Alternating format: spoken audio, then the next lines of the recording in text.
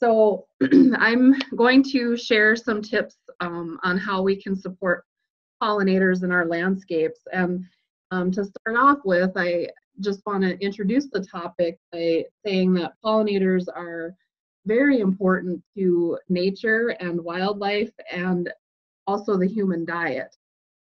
Um, and pollinators such as honeybees are vital for our U.S. agriculture industry and economy.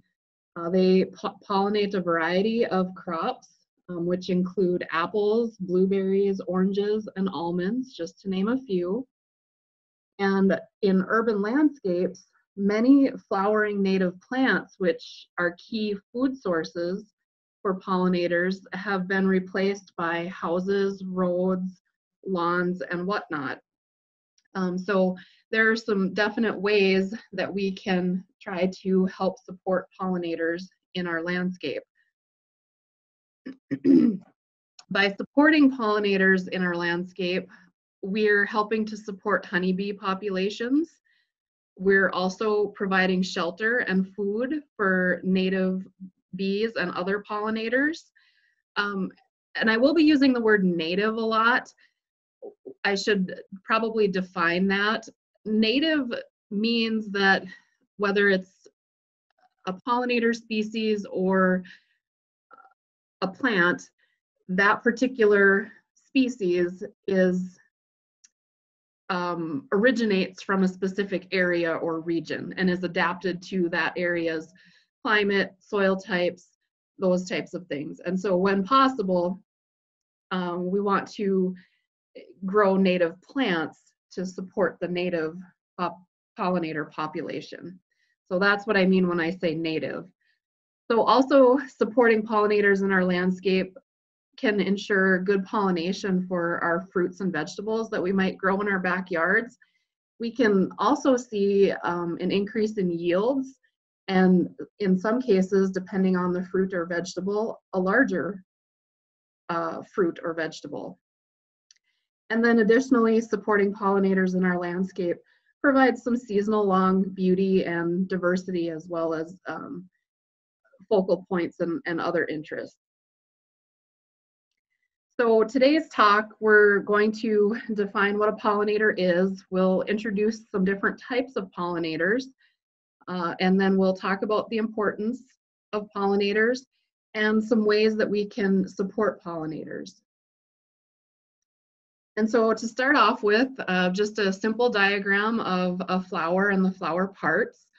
Uh, you don't necessarily need to know all of the flower parts, but just put the diagram up there so that as I'm talking, you have something to reference um, the different parts. So pollinators can be anything that helps to carry pollen from the male part of the flower, which is the stamen, and it carries it to the female part of the same or another flower, the stigma. So the female part of the plant is called the stigma, the male part is called the stamen. And some plants actually have both male and female flowers on them. Uh, cucumbers is an example. Uh, when cucumbers set their first blossoms, typically those first blossoms are male flowers and therefore they will not set fruit. So it's usually the second flush of blossoms that produces our fruit or our, our cucumber. Um, some flowers just have male flower, or some plants just have male flowers and some plants just have female flowers. And so then it requires a pollinator to transfer the pollen from the male flower to the female flower to result in pollination. And pollination can happen either intentionally or incidentally. Um, for example, some animals, such as many bees, intentionally collect pollen, while others, such as many butterflies and birds, move pollen incidentally because the pollen just sticks on their body uh, while they're collecting nectar from the flowers, and that's how it gets dispersed. There's also direct and indirect pollination, um, and I'll talk about that on the next slide. Um, but I want to point out that many of our fruits and vegetables do require insects to carry the pollen from one plant to another. So keep that in mind as we continue with the, the presentation today. So when we're talking about direct and indirect pollination, some crops are pollinated by pollinators, and some crops are wind pollinated. In the United States, honeybees perform much of our insect pollination, but there are help from other pollinators, which we'll talk about in a little bit. And so honeybees, therefore, are very are vital to our agriculture industry and our economy. And they pollinate a variety of popular crops, um, which you'll see on the left hand of your screen. Um, the the cereal grains, which are on the right side, like wheat, corn, and rice, which happens to make up the largest part of the world diet, um, they don't need pollinators. This is because the crops on the right, cereal crops on the right, are wind pollinated.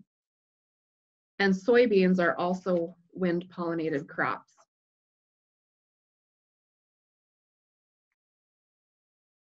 Honeybees are probably our most well-known pollinators and North Dakota happens to be the number one honey producing state in the United States. Um, in 2018, according to the North Dakota Department of Ag, uh, we produced 38 million pounds of honey, valued at roughly $71 million. And according to a variety of different sources, uh, pollinators are generally responsible for one in every three bites of food that we eat. Uh, this includes 120 different crops, which are mainly fruits, vegetables, and nuts and pollinators contribute approximately 15 to 20 billion dollars in US crops or they contribute to the crops because of their pollinating efforts. Um, one sp specific crop that absolutely needs pollinators uh, to achieve pollination is almonds. Um, some of our other crops like um, berries maybe need a pollinator but maybe not some you have to have two different types of cultivars and that requires a pollinator to transfer pollen from one to the other. There's also um, berry species like raspberries that the more of the um, female parts that are pollinated, the better quality the raspberry will be. So the less mushy it might be.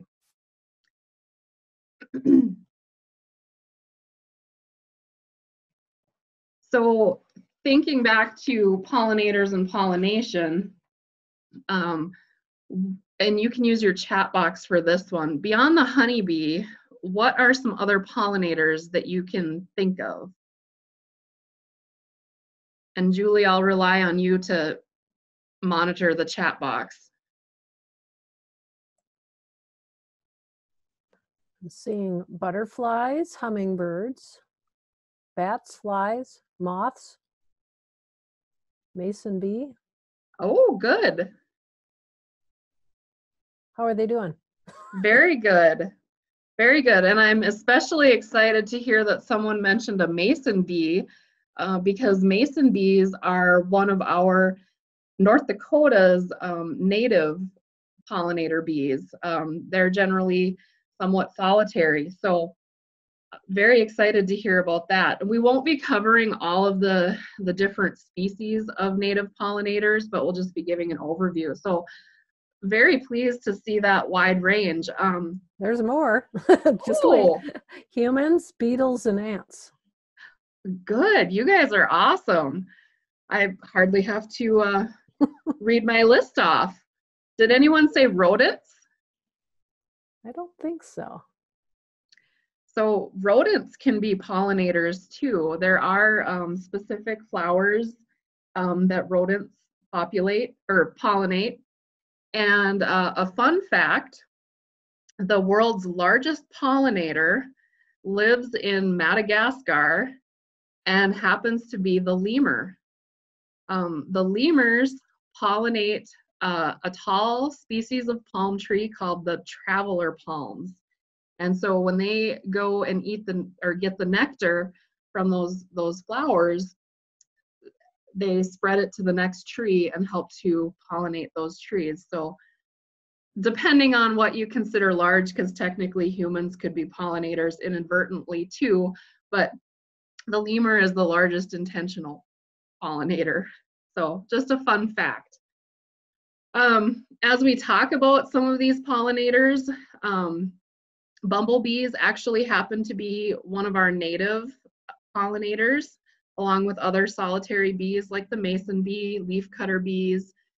And I do want to point out that bees are, are not, not to be feared. Um, they are generally very docile and don't attack people on purpose. Um, it is wasps and hornets that are more aggressive, especially in the, the latter part of summer when they're um, looking, their food sources are getting short.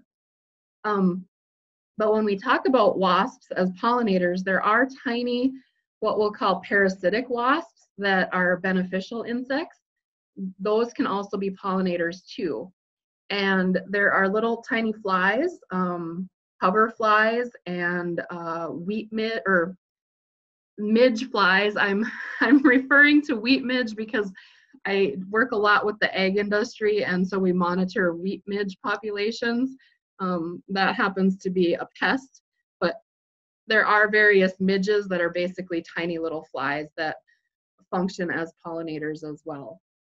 And so when we think about some of these pollinators, they can be attracted to um, different kinds and types of flowers. And so that is important to be somewhat familiar with as we're um, designing our landscape. For example, butterflies, uh, they tend to be attracted to bright red and purple flowers that have faint but yet fresh odors. Uh, bees are attracted or tend to be attracted to white, yellow, or blue flowers that have contrasting ultraviolet patterns and generally have a mild or pleasant odor. Uh, there is a special um, tiny bee that is attracted to um, the, the vanilla the vanilla plant and actually is the only kind of bee that is able to pollinate that. And they have done some some trials with well right now most of the vanilla is hand pollinated but it's a it's a lengthy process and so they are working on ways to get the vanilla um, orchid to be able to be pollinated by other species other than this tiny bee. Excuse me. Uh, hummingbirds, which I'm sure a lot of you are familiar with, uh, tend to be attracted to scarlet colors, oranges, reds, and white, especially tubular shaped flowers um, with no distinct odors. Moths, which tend to be most active at night. Um, there is an exception. The Achemon sphinx moth is active during the day. That is um, also known as our hummingbird moth because it can um, look or when it moves quickly, it sounds and looks like a hummingbird because um, it does have a very long proboscis as well. That's the, the feeding part. Um, but moths, they tend to be attracted to pale reds, purples, pinks, and white flowers that give off a strong, sweet odor at night. To me, I would think of petunias. They tend to have a strong, sweet odor. Beetles, like soldier beetles and other beetles, are attracted to white or green flowers uh, with odors that range from none to strongly fruity or foul. And flies, like the tiny hoverfly, um, they tend to be attracted to green, white, or cream flowers with little odor, or dark brown and purple flowers that have putrid odors. Um, the cocoa plant uh, happens to be pollinated by a tiny fly called a midge. So I just wanted to throw that out as a fun fact. Bats, which are also primarily active at night, um, they are attracted to dull white, green, or purple flowers that give off strong and musty odors at night. Um, if you if you like alcohol like tequila, Uh, bats are responsible for pollinating the agave plants that make tequila. Um, bats also produce one of my favorite fruits, or pollinate one of my favorite fruits, bananas. I'm not a fan of mangoes, but they do pollinate mangoes and guava as well. So if anyone likes those types of fruits, uh, that's where bats can be beneficial as well. And going back to our native pollinators, there are more than 4,000 native bee species in North America. And according to TJ Prochaska, who is our area extension um, specialist in crop protection up here at the North Central Research Station in Minot, there are more than 250 solitary bees in North Dakota. And he will actually be sharing more on conserving solitary bees on April 16th during uh, the NDSU Spring Fever Garden Forum. So pollinator decline um, is happening in both managed and wild pollinators. Um, managed pollinators would be our honeybees um, because they are they are here during the summertime and then they are wintered in warmer states down south, um, maybe Florida, California, those types of places. Um, but both managed and wild po pollinators are facing similar stressors, um, such as habitat loss. Um, we're starting to see alternate land uses interfering with overwintering, foraging, and nesting sites of our pollinators. Um, as I mentioned before, urban areas are replacing um, some of these habitats. Nutrition is also uh, another stressor. Um, the specific plants needed for nutrition and habitat are um, being replaced or declining. Um, and these native pollinators do need these specific plants for their various life stages the monarch is a good example. Milkweed um, is specifically needed for the larval stage of, of the monarch. Climate change is also a, a stressor for our pollinators um, and how this affects them is that as we start to see climate change, more flowering plants might be starting to occur farther north than, than usual or at higher elevations which can cause food sources to become out of sync uh, with our pollinator life cycles and migration. We're also starting to see parasites and diseases. We've heard a lot about honeybee diseases, colony collapse disorders, those kinds of things. And as we're seeing right now with COVID, uh, our our world is is much more mobile, and so with more travel and commerce, allows um, the extensive transfer of parasites and diseases, and our pollinators are no exception. And so these non-native parasites and diseases can infect our native species um, and, and cause decline. Uh, the last stressor that all of our pollinators um, struggle with or face are uh, pesticides, and these can be herbicides, which are uh, pesticides designed to kill weeds, insecticides, and fungicides. Uh, insecticides kill insects, fungicides kill fungus. And some of this pesticide uh, damage can be from um, use in the environment, or it can actually happen when our beekeepers are trying to keep our bees healthy um, for example, with the, the mites that affect honeybees, there are um, pest or miticides that they can use to help protect the honeybees, but at the same time, those can be damaging to the honeybees. And so the other way that pesticides can um, harm our pollinators is by killing important forage plants that the pollinators need for nutrition. And we'll talk a little bit more about this, but um, dandelions is a good example of a, a, weed, or what some might call a weed, uh, being controlled by a pesticide. Dandelions actually provide really good early season forage for our native bees. So honeybee problems, this is just a little bit of a, a summary uh, from the previous slide, but a little more detail on, on the honeybee problems.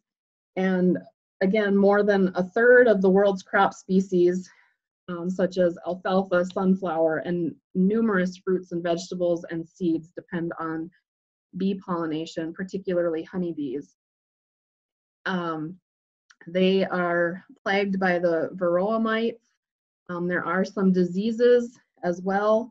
The Israeli acute paralysis virus is an important virus that has been indicated in uh, colony collapse disorder. And the that disease um, has probably been an introduced uh, disease from bees brought in from other countries um, or different species of bees. And then also with our honeybees, we tend to see some migratory stress. Since our honeybees are wintered in southern states like California and Florida, we see that migratory stress. The transportation of these bees across the country for pollination purposes and frequent moves um, cause high levels of stress. And as we know from our, ourselves, when we're under a lot of stress, um, our immune systems don't function as they should. Uh, additionally, poor nutrition um, is attributed to some of our honeybee problems. Um, and part of that is um, our, the monocultures that honeybees are being asked to feed upon. Uh, just like us as humans, we need a diet um, that has a wide range of nutrients and vitamins and minerals. And so bees and other pollinators also need a mixed pollen diet um, rather than a single pollen source. Um, in some reviews of bee problems, um, bees feeding on monoculture crops have been likened to humans only eating sardines or chocolate or parsnips for a whole month at a time. So you can imagine how you might feel, even though you may be a huge chocolate lover, how you might feel after a whole month of eating nothing but chocolate. Um, and then pesticides. Uh, neo, neonicotinoids are the main pesticide of concern, which is an insecticide. And so um, folks are trying to reduce the use of this particular pesticide because it can linger in the plants and as the bees feed upon the pollen and the nectar, they can become um, exposed to it. And because of all these different things combined, not just one, one particular item, beekeepers are losing about a third of their hives per year. So it's, it's becoming a growing problem. And as you can see, it's, it's not linked to just one particular um, stressor. So just um, a visual to uh, demonstrate the importance of pollinators and bees specifically. Um, this slide is uh, from Dr. Esther McGinnis. Uh, she's our NDSU Extension Specialist and Associate Professor in Horticulture. She's also um, my graduate school advisor. And I borrowed this slide from her uh, because it gives a good depiction of what might make up some traditional breakfast foods. We've got some fruits and we've got coffee, milk, bacon, eggs, um, some grains. And so in the next slide, um, we'll see what a breakfast looks like without bees or without pollinators. And so you can see that it looks pretty plain and, and pretty bland without out those fruits. And um, for those that are coffee lovers, we even lose the coffee. And if we think about how pollinators, whether they directly pollinate our, our foods or whether they're somehow involved in the process, we can probably even take milk out. Um, because even though our dairy cows um, do eat a fair amount of grains and wind pollinated um, feed sources, they also have a large part of their diet is made up of hay, specifically alfalfa, which does need bees for pollination. So depending on how we look at pollination, we can probably take milk off the menu too. if we don't have bees and other pollinators. So how can you help? Um, one of the, the popular initiatives these days um, is to build a, a pollinator garden and um, NDSU Extension has a pollinator program through our Master Gardener program. Um, folks can actually go online and if you just search in search NDSU Extension um, Master Gardener Pollinator Garden, you can find more information information about building a pollinator garden and also about becoming a certified pollinator garden. And so the picture to the right is actually our pollinator garden that we have here in Pierce County. Um, our Pierce County Soil Conservation District uh, graciously allowed us to place it on their property. Uh, so building a pollinator garden is a great way to help pollinators. And planting other nectar and pollen producing plants uh, that bloom season long is another great way and also creating a pollinator friendly lawn and yard is another great way to help um, support pollinators. And we'll talk a little bit more about each of these um, as we go forward. When we're supporting pollinators in our landscape, we need to think about their four basic needs. They are essentially just like we are. Um, one of their basic needs is food and their food source happens to be nectar and or pollen. If it's a bee, usually pollen is involved. They also need a source of water and they need some type of shelter, um, primarily for nesting um, and, and just escaping predators. And then their fourth need is the sustainable use of pesticides. And we'll refer to that as integrated pest management because it's a it's a whole system of looking at our pesticide use. These next few slides are, are going to focus primarily on tips if we were going to be building a pollinator garden, um, but can certainly work for adding any types of plants to our landscape. So if we're building a pollinator garden, we can select plants or we should select plants that bloom from early spring. So coming up, you know, the end of April, early May, all the way into late fall, um, probably late September, early October. Um, and usually we want to have at least 10 to 20 species. And we should include as many native plants as we can. And it is okay to include some non-natives. Uh, those can be beneficial uh, in the landscape as well and beneficial to pollinators. We, we do want to be careful with some of our non-native natives, especially some of the cultivars. The, um, a good example would be the double blossomed flowers. Sometimes in the genetic selection of those, uh, some of the reproductive parts can be lost or some of their nectar producing capabilities are lost. And so even though they're pretty, uh, they may not provide the nutrition that our pollinators need. And when we are mixing non-natives with our natives, um, generally we want to follow the 60-40 rule. So 60% native and 40%, no more than 40% non-native. And then when we're planting our uh, food sources for our pollinators, we also want to try to plant in drifts or clumps of three to five per species. And the reason for this is to help our pollinators find and use them. Uh, essentially, they become a landing zone. And another reason that we plant them in clumps is because some of our pollinators don't have um, a tremendous energy reserve. And so if those plants are a little bit closer together, it helps them to conserve energy as they're foraging. And we want to make sure that the natives that we're choosing are adapted to our local climate, um, soil, and our native pollinators.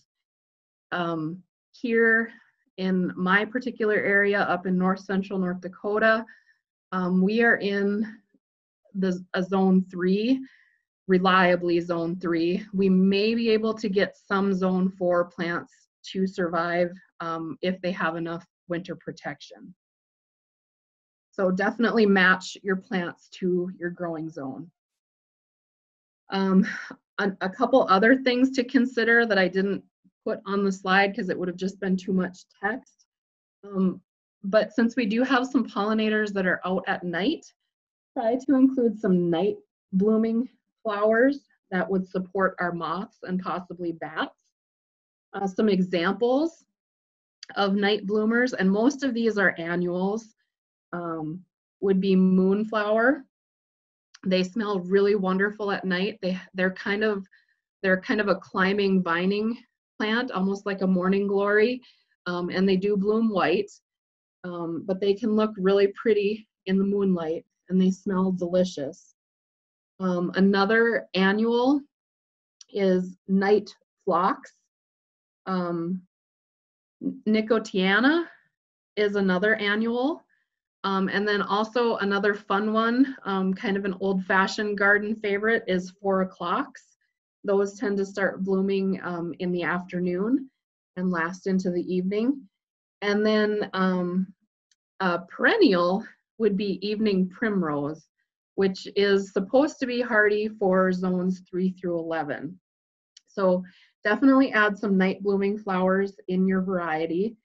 And then another thing to consider is to vary the sizes of the plants um, to accommodate some of our tiny uh, solitary predators, or I'm sorry, pollinators. um, some examples of plants that would have smaller flowers or blossoms to accommodate these tiny pollinators would be species from the mint family. Um, also, plants from the carrot family, such as dill, or one of our native plants, golden alexander.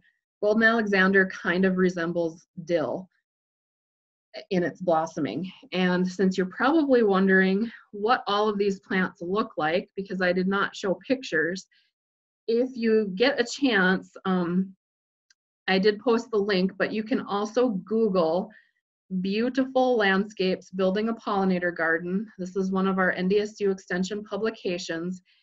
And there is a chart of our native plants um, by season.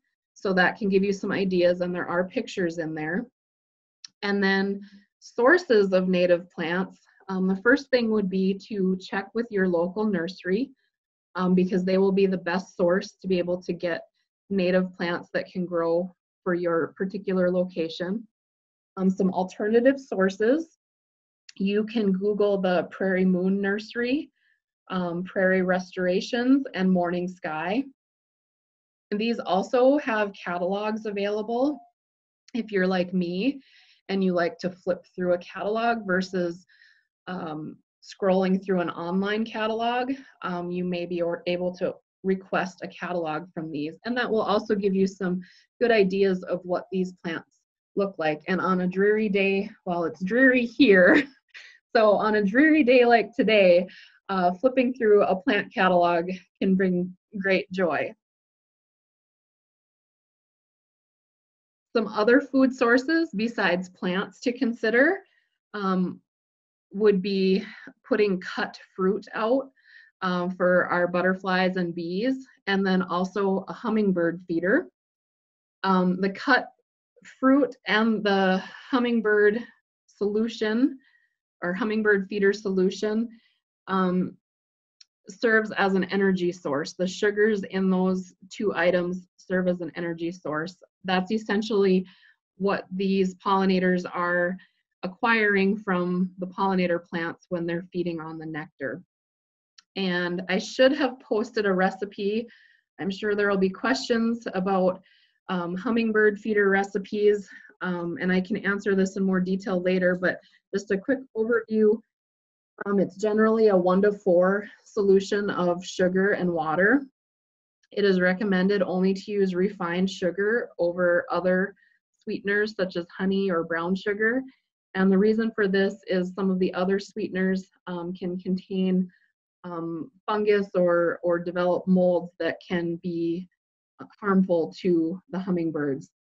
And so a simple recipe for a hummingbird feeder solution is just one fourth a cup sugar, one cup boiling water, and then you just dissolve the sugar in the water, let it cool down, and put it into your hummingbird feeder. feeder. There's no need for the red dye. Um, some of the chemicals in the dye can be harmful to the hummingbirds. And then also make sure with your hummingbird feeder that if it's hot, that you're emptying and cleaning it at least two times per week. And when you clean it, make sure that um, you are cleaning it with hot tap water or a very weak um, vinegar solution. We want to avoid using dish soaps because they can leave some residues that can be harmful to our hummingbirds. And then every time that the hummingbird feeder is empty, especially in a period of heavy feeding, um, go ahead and clean it before you refill it. Oops.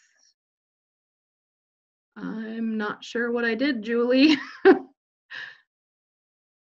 there we go. I clicked on the link. I'm sorry about that.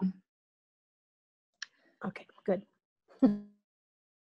um, so our next um, need for pollinators is a water source. And we have a variety of ways that we can get water for our pollinators.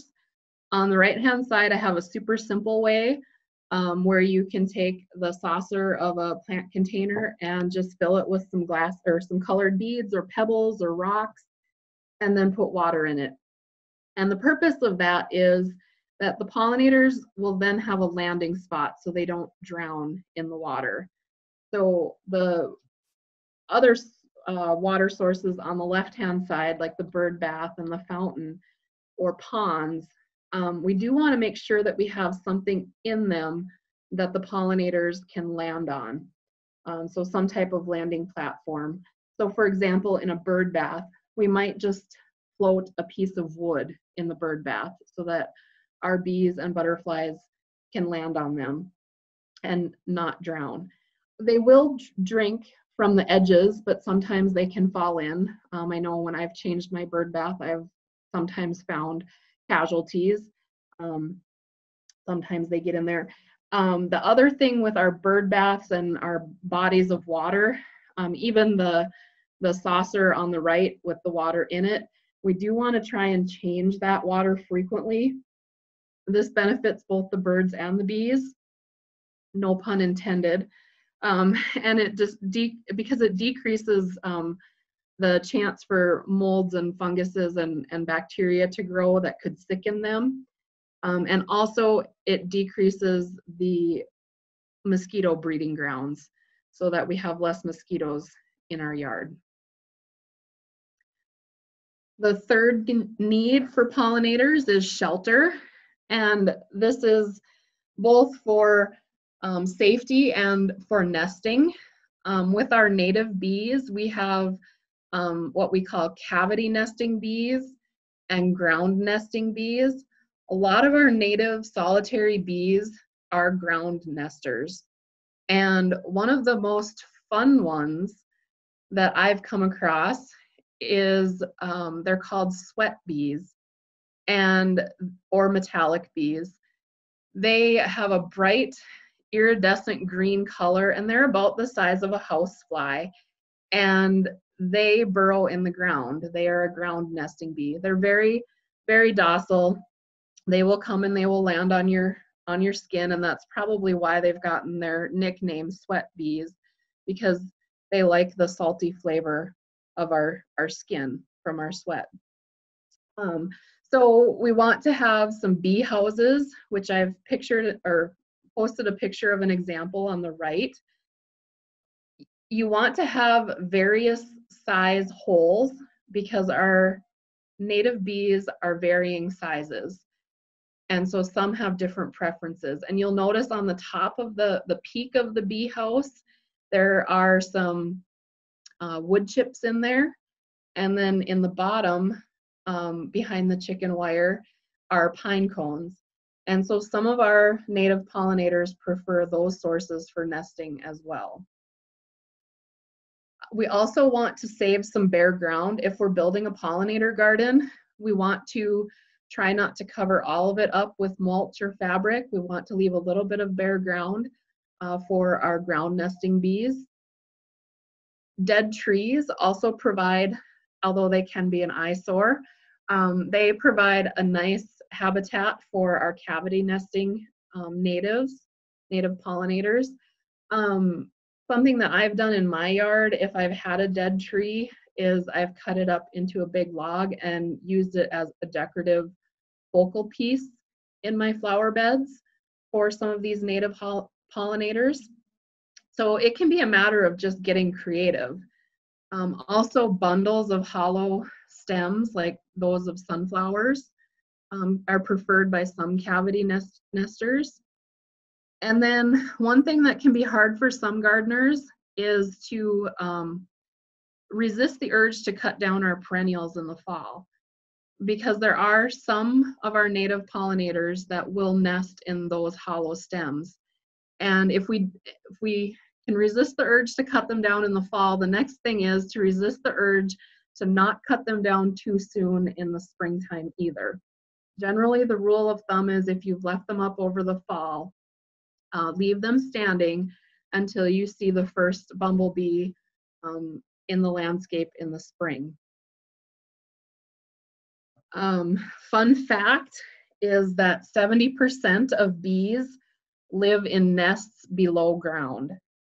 And the other 30% of bees live in cavities, such as plant stems or holes bored in trees by woodpeckers or beetle larvae. Some bees can um, hollow out um, or core out wood themselves, others cannot. So they'll lay their eggs in hollow stems or nest in them.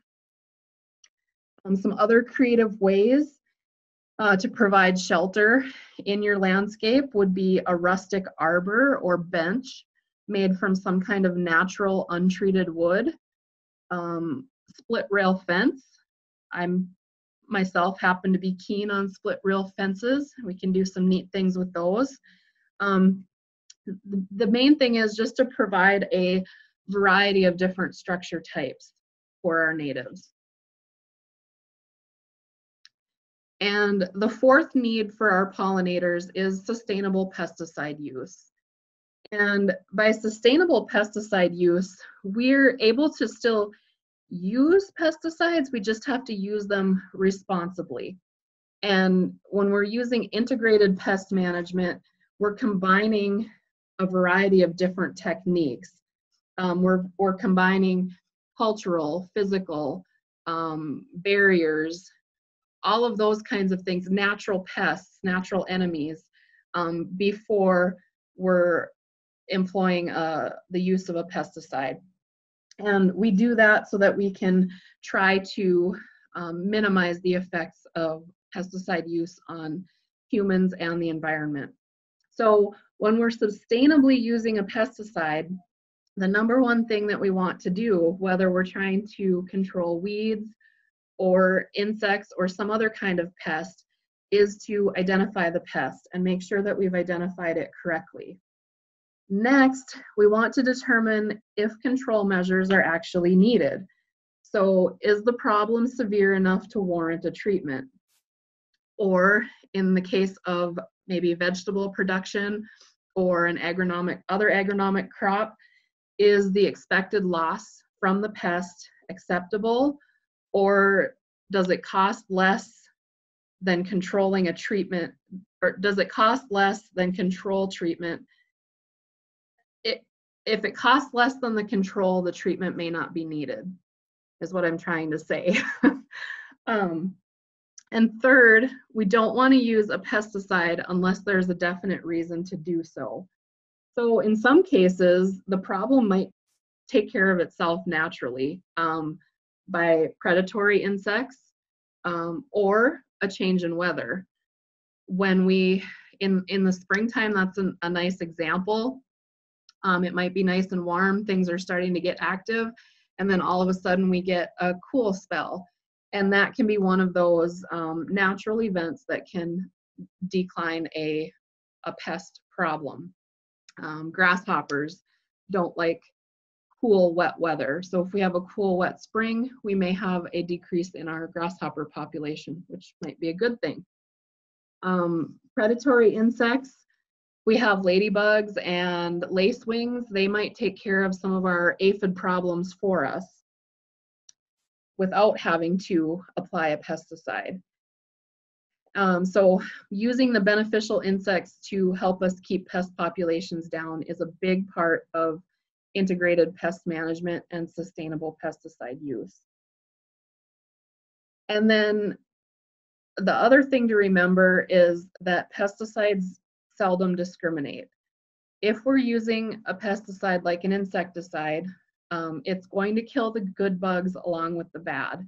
When I get calls in the office and I get a lot of them, um, the number one thing people want to know is what can they spray to kill a particular pest on a particular plant in their landscape. And so the first thing that I go over with them is this point that whether they're spraying, whether they're targeting the bad insect, they're still going to be killing the good. And so then we back up to um, the second point or the third point where we don't want to use a pesticide unless there's a definite need to do so. So is the damage that that pest is going to cause warranting the use of, of a pesticide. And then number six is to make sure that the pest is present. Naturally, we've identified it, but we also want to make sure that it's in a vulnerable stage before we're treating it. Some pests, insect pests, once they get to a certain size, aren't as vulnerable to the pesticide. Weeds are another great example. Once they get bigger than three to four inches, they're harder to kill and can become more resistant. And then the last point in using pesticides responsibly or incorporating integrated pest management is that we want to choose the right pesticide. We want to make sure both the pest and the plant that we're treating are on the label um, because the label is the law and we have to follow the label requirements. And then since we're talking about the label, we do want to make sure that we look at the label and um, pay attention to any safety precautions, mixing instructions, special application instructions, um, personal protective equipment that might be needed to apply that, that particular pesticide. So some special considerations uh, for pollinators regarding pesticide use. We only want to apply pesticides, of course, when we need to, but if we are going to have to make a pesticide application, we only want to do it when pollinators are inactive. And our bees and other pollinators typically are active and foraging during periods of high temperature and sunlight. Um, so we don't want to be spraying our pesticides during that key peak of the day. So we might be spraying in the early morning or in the early evening hours to avoid our pollinator foraging times. Also, um, high temperatures can cause some pesticides to vaporize, which can increase the potential for pollinator or off-target plant injury. So we want to examine the area that we're going to be applying a pesticide to and if there are bees or other pollinators actively foraging on the flowering weeds or plants, we want to postpone that pesticide application until they're no longer foraging. Uh, we also want to be cognizant of residual activity of pesticide. Um, this is an important factor in determining safety to pollinators. Generally, the shorter the re-entry interval listed on the label, the that means the less residual activity. So the shorter the re-entry re interval generally means a shorter residual activity period or less persistence. We also want to try to minimize drift um, to non-target plants or plants that bees might forage on. And generally, applications should not be made if wind speeds exceed 10 miles per hour or are blowing towards adjacent flowering plants. And then we also want to choose the lowest toxicity possible. And um, that will generally be indicated on the label. Um, there will be signal words such as caution, warning, danger. They give a general idea of toxicity level. Um, caution is the lowest toxicity level and danger being the highest toxicity level. Um, also, I do want to point out that some of our organic and natural um, pesticides do not necessarily mean non-toxic pollinators. Some of our organics and naturals can be just as toxic as our synthetic pesticides.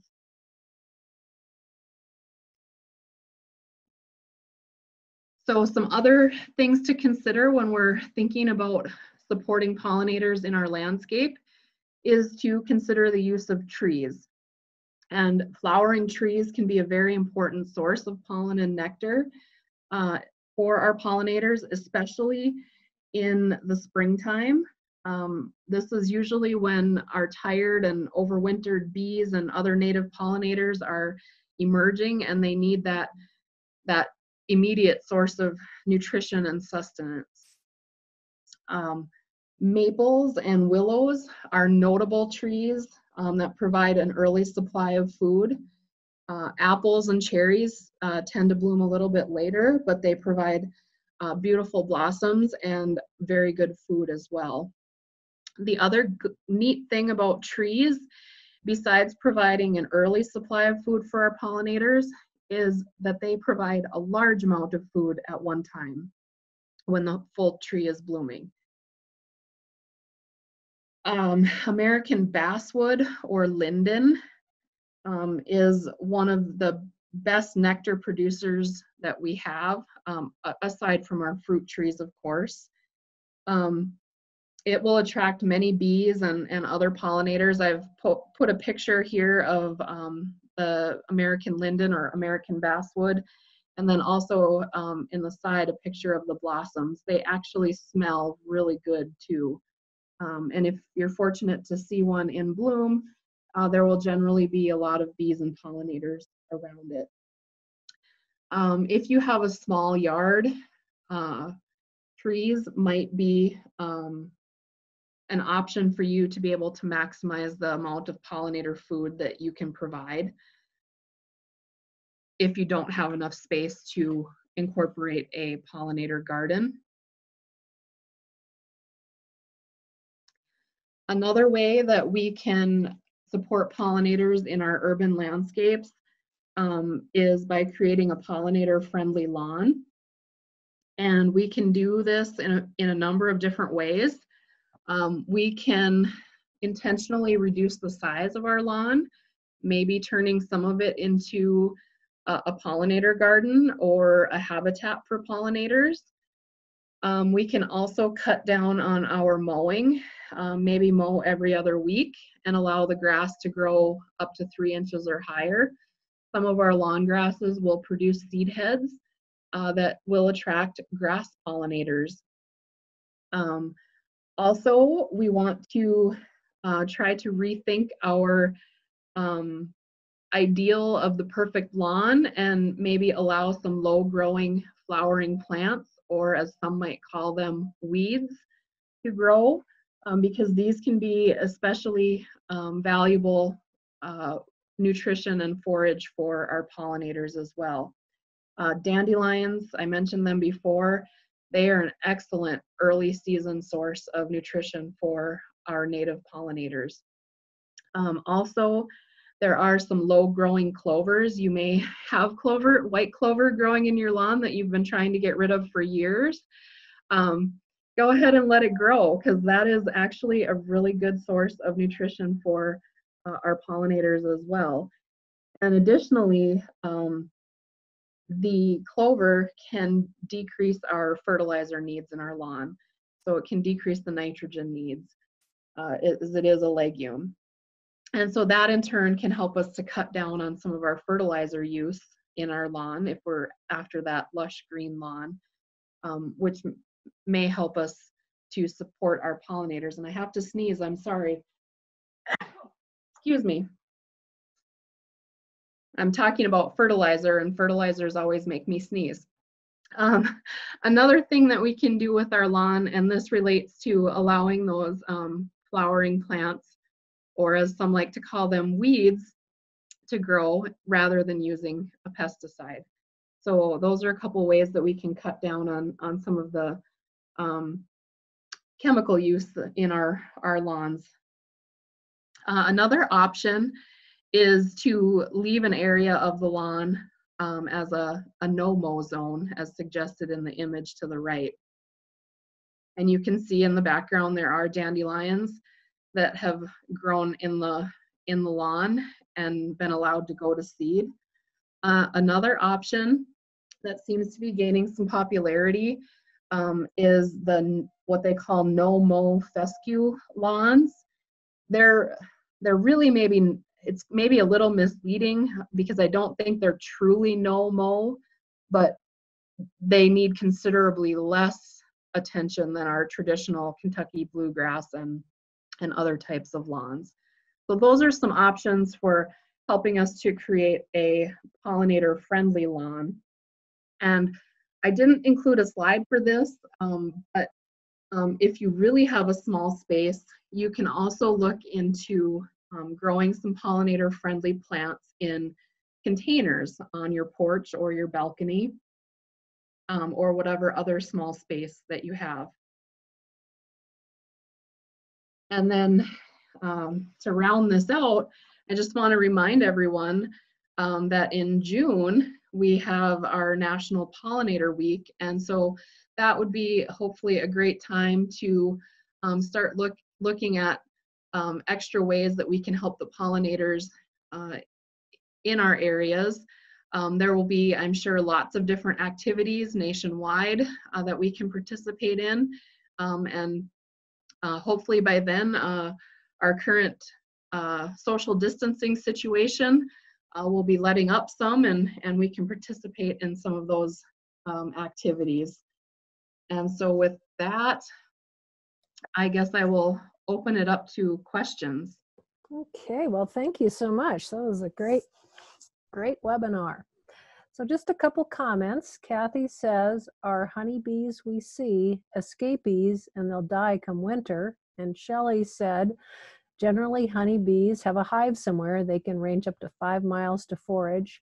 Honeybees without a hive will die. So do you have any other commentary on that question or thought? Mm, I guess that I, I, I, I don't know enough about the the honeybees, but generally, yes, they do require a hive.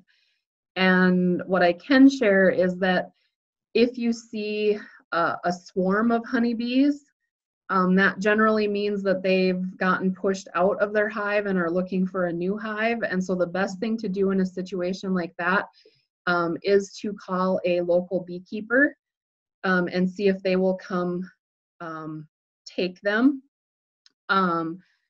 Um, you can also look on, if you don't know of a local beekeeper, you can look on the North Dakota Department of Ag um, website and there is a listing, a map listing of apiaries in the area. Um, I should have maybe posted a slide of that, but I already had a lot of talking points. Um, so I'm not sure if that answered your question. Well, Shelley tells us, and this is great to know, she is a master beekeeper and she's taught honey beekeeping for four years. So maybe sometime you can do a webinar for us, Shelley. That would be wonderful. uh, have another question here, or here's first a comment. We have a huge basswood tree in our yard, and uh, Jennifer was glad to hear it's so beneficial, and she hasn't smelled the blooms. Uh, we have a question from Aaron. What attracts wasps to the garden? Generally, we if there's rotting fruit or some kind of um, other rubbish nearby, that might attract them. Generally, in the early part of the summer, We won't see them a whole lot. They'll become more active in the latter part of the summer as they begin foraging, as their food sources get shorter, and they start foraging to prepare for um, either overwintering or migrating. So it looks like we have um, a couple questions here. Um, Shelley, our beekeeper, says the best time to manage wasps in, is in the spring when their populations are small using traps. So thank you, Shelley. Um, Jeannie says, I read that a native bee house needs to be six inches deep to produce healthy female bees and it needs to be completely cleaned every year. I don't know on the measurements. Um, I know they vary, but I can say that yes, they should be cleaned. And Charlotte says she has a an oregano plant growing in her herb garden and she noticed the bees are attractive to the flowers of the plant. Thank you. I forgot to mention herbs. Yes, herbs are a wonderful source for pollinators. Oregano, borage, um, pretty much any chives. They love chives too. So yes, definitely incorporating herbs into your landscape is is a great source of food for our pollinators. Thank you for sharing. Oh, and Jennifer, I missed her question as I was going through. She says she's sad to see how many bees get killed in pools. Do you know any products to put in a pool to help them float on?